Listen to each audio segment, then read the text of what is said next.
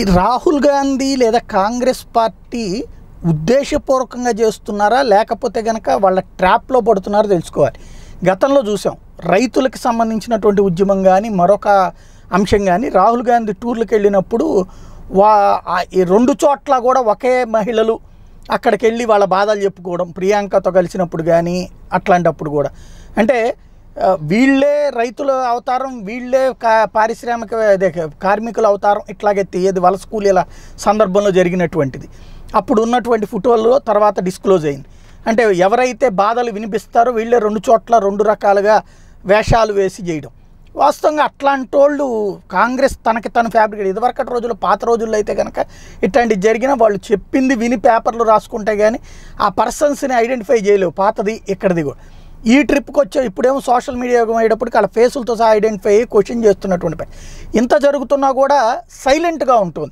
లేదా రెండో చోట జాగ్రత్తలు తీసుకోవట్లేదు. అంటే అది అలాగే ఉండకుండా జాగ్రత్తలు తీసుకోవాల్సి ఉంటుంది. ఎవరు ఏంటనే మొన్నటిసారి ఏదైతే ఉత్తరప్రదేశ్ పర్యటన సందర్భంలో వాళ్ళ కుటుంబం దగ్గరికి వెళ్ళినప్పుడు ఎవరైతే మహిళ ప్రియాంక వాద్రాని కావులిగించుకుందో ఆవిడ ఒక మాజీ నక్సలైట్ అన్నటువంటి విషయం బయటపడటం ఆవిడ మీద గతంలో ఉన్నటువంటి కేసు బయటపడడం ఇప్పుడు మరికొంత సమాచారం బయటకు వస్తుంది రాజకుమారి బన్సాల్ ఎవరైతే ఆ రోజున వదిన కింద బా బాధితురాలు వదిన కింద క్లెయిమ్ చేసుకుందో ఆవిడ అంతకుముందు ఒక మర్డర్ కేసులో రెండు వేల పద్దెనిమిదో సంవత్సరంలో ఒక హత్య కేసులో నిందితురాలుగా ఉంది. She had try to pass herself off as the mausi of the victim in the Sanjali murder case in Agra two years ago అక్కడ సేమ్ ఇంకొకళ్ళ వదిని కింద ప్రొజెక్ట్ చేసుకుంది. ఇక్కడ ఈవిడ ప్రతి చోట కూడా అంటే తను మాజీ నక్సలైట్ అన్నటువంటిది పోలీస్ వర్గాల దగ్గర ఉన్నటువంటి సమయ మాజీ నక్సలైట్ అని కాదు నక్సలైటే అజ్ఞాతంలో ఉన్నటువంటిది.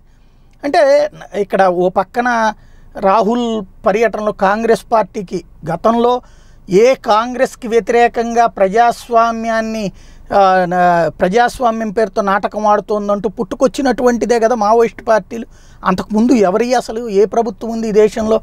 ప్రభుత్వాలకు వ్యతిరేకంగా ఏ ప్రభుత్వాలకు వ్యతిరేకంగా? మావోయిస్టుల ప్రభుత్వాలు కాదు కదా అక్కడ ఉన్నాయి. కాంగ్రెస్ ప్రభుత్వాలు అంతకుముందు పోయిన భారతీయ జనతా పార్టీ ప్రభుత్వం ఇంకోటో కాదు. మా మావోయిస్టులు అసలు పుట్టినటువంటి సందర్భంలో నక్సల్బరీ ఉద్యమాలు కానీ ఇవన్నీ ఎవరికి వ్యతిరేకంగా వచ్చినాయి?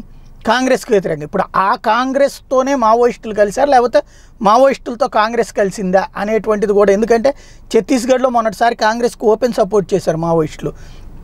ఎక్కడైతే కాంగ్రెస్ పవర్లో ఉన్నప్పుడేమో వాళ్ళకి వ్యతిరేకంగా పిలుపులిస్తారు. కాంగ్రెస్ పవర్లో లేనప్పుడు వాళ్ళకి ఓటేయమని పిలిపిస్తారు. మరి ఇదేం అండర్స్టాండింగ్ ఇది అండర్స్టాండింగా లేకపోతే ఇది ఏమైనా గేమ్లో పార్ట్ అనేటువంటిది తేలాల్సి ఉంది? ఇట్లాంటి సంఘటనల వల్ల ఇది చర్చకు వస్తున్నది